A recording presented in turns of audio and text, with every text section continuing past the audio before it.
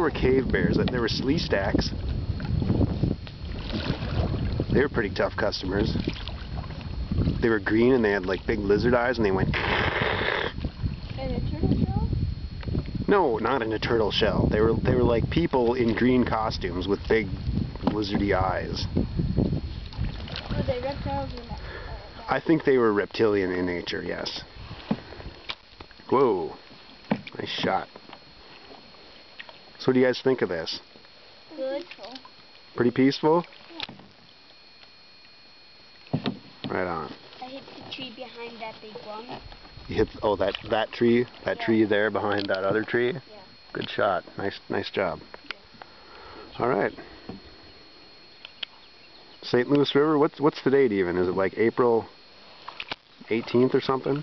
Yeah, something like that. Just a 24-hour trip. Slept out in the tent. Uh, everything's in order. We're just gonna keep going down the river.